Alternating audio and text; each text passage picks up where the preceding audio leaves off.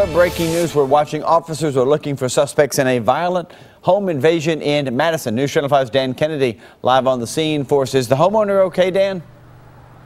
Homeowner is going to be okay, but he tells police he was pistol whipped during this home invasion, uh, though police, when they were examining him, uh, didn't find any visible injuries. So, yes, he is all right, though, albeit probably a bit shaken up this morning after police say a suspect kicked down his back door uh, pointed a gun at him and demanded pills and electronics. All this happening a few hours ago at the Archwood Meadows apartments and townhomes over on Archwood Place in Madison.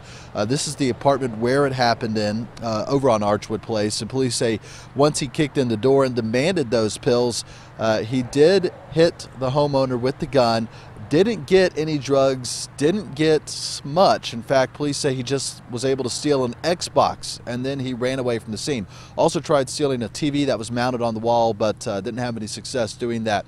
This morning, police have released a description of the suspect saying he's a black male wearing all black clothes. And here's a distinguishable characteristic for you. He had a tattoo under one of his eyes. Uh, the victim says it might have been of a cross. So keep that in mind as you go about your day. If you see this person, 615-74 crimes, the number to call. Police had K-9 units out here earlier searching the woods, uh, but no luck finding that suspect as of yet. Reporting live this morning in Madison, Dan Kennedy, News Channel 5.